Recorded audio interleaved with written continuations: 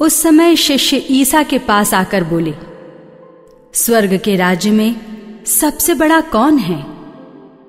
ईसा ने एक बालक को बुलाया और उसे उनके बीच खड़ा कर कहा, मैं तुम लोगों से यह कहता हूँ, यदि तुम फिर छोटे बालकों जैसे नहीं बन जाओगे तो स्वर्ग के राज्य में प्रवेश नहीं करोगे। इसलिए जो अपने को इस बालक जैसा छोटा समझता है, वह स्वर्ग के राज्य में सबसे बड़ा है। और जो मेरे नाम पर ऐसे बालक का स्वागत करता है, वह मेरा स्वागत करता है। सावधान रहो। उन नन्हों में एक को भी तुच्छ न समझो।